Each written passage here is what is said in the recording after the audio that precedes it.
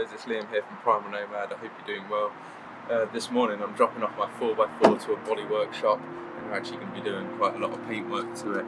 Um, something I've been saving up for, for quite a while. I'm doing quite a lot of work to this vehicle because I'm you know aiming to take it four-wheel driving, doing a bit of overland touring, so yeah, really looking forward to it. Anyway, hope you enjoy the video. See you soon.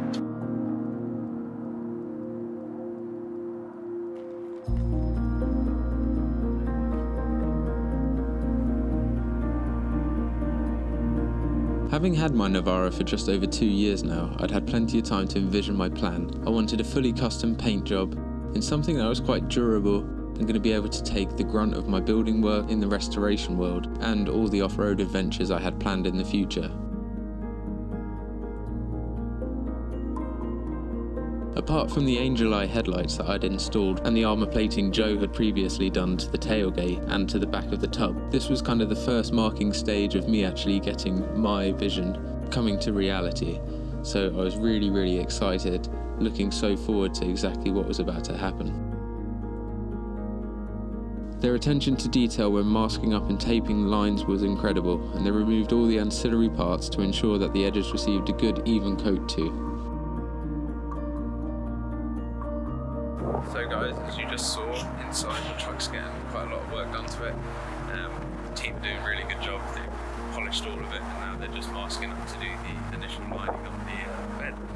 Yeah, really looking forward to it. Me and Rob are actually going to be doing now some little bits of work to the canopy and to the tailgate just in preparation.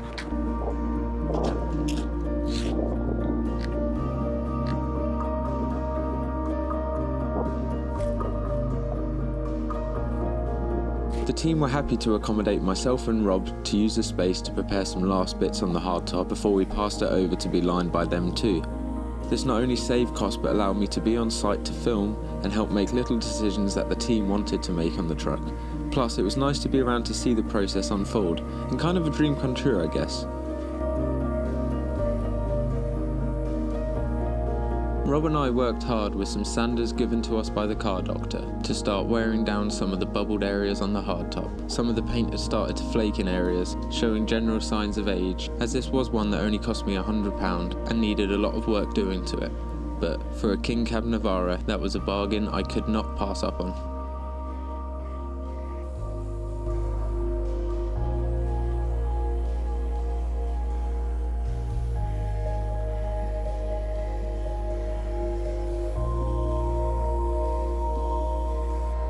I'd also been working on a custom grill, cutting and replacing the plastic diamond grill out and replacing it with a finer mesh.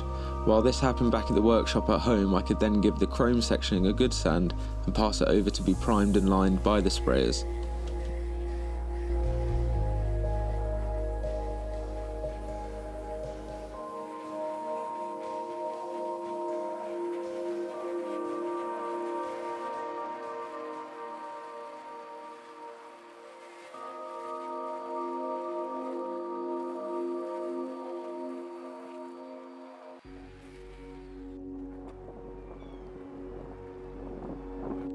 I chose Raptorliner by U-POL to be applied by the car doctor, a local company with a great reputation and the right mindset to meet my custom requirements.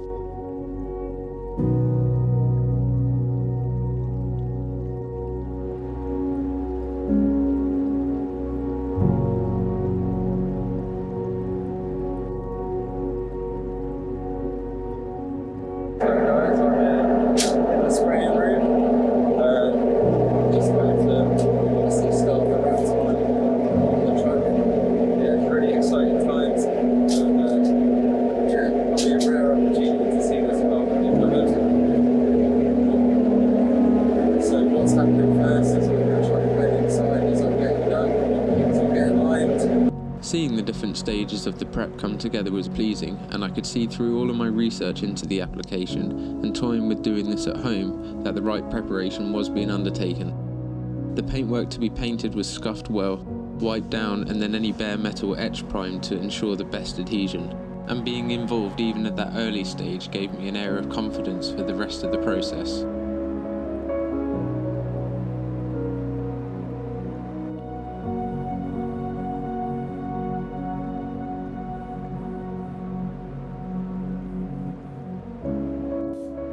In the bed of the truck, we'd opted for a high grip additive that doesn't affect the overall colour or tone but does boost the grip and improves the anti-slip properties, so we did some tests to make sure that the texture was all confirmed before applying.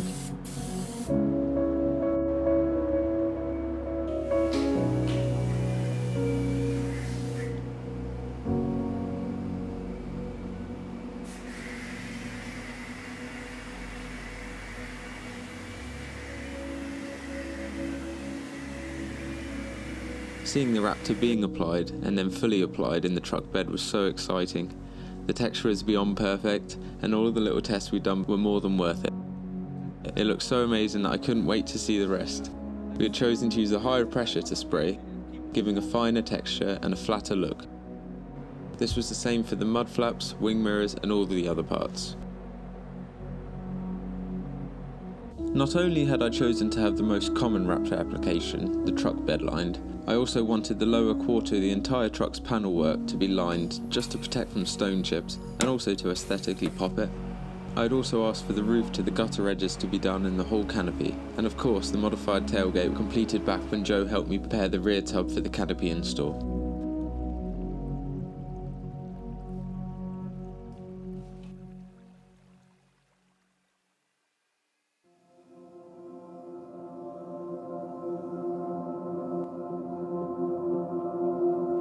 It was all really starting to come together in my mind. This is where the attention to detail shown at the car doctor really shone. The involvement with me from the start was 100%, even down to measuring the tape lines for the lower quarters. Not long after this was I invited to the spray booth to see the different parts of my truck, hanging in the flashing off period between coats, almost teasing me to touch them, but not wanting to ruin so much hard work effort and patience to get to this stage. I just had to make sure I left it well alone.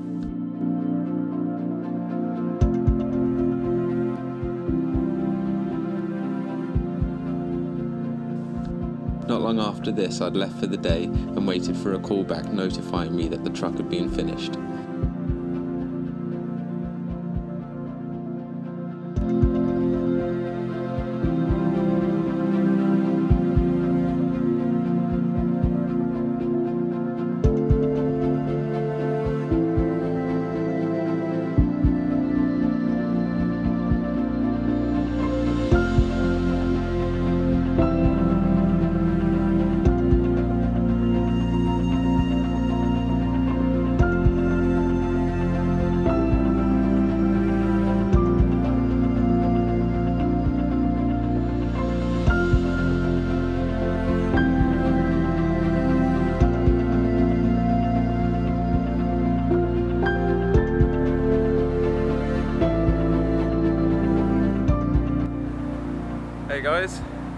So actually just turned up to see my truck completed for the first time. Uh, really excited. Sun's right in my eyes, so I do apologise for squinting. Uh, yeah, let's have a little look. Unfortunately, some of the footage did get lost to the truck after its paint job in full, but man was I happy. Terry, the owner of the car doctor, had been in contact with U-POL, who manufacture Raptor, just to ask for some technical data and some information. When they heard about the build, they were more than happy to come down and take a look, as they were as keen to see the result of the build as I was. And if you do want to see the truck fully finished, the next two episodes in this series will be sure to keep you happy, where I upgrade the suspension, wheels, fix the rear diff, the transmission switches, and then I go for an R&D trip to the Salisbury Plains. Don't forget to like and subscribe to see more. And remember, thanks and stay safe.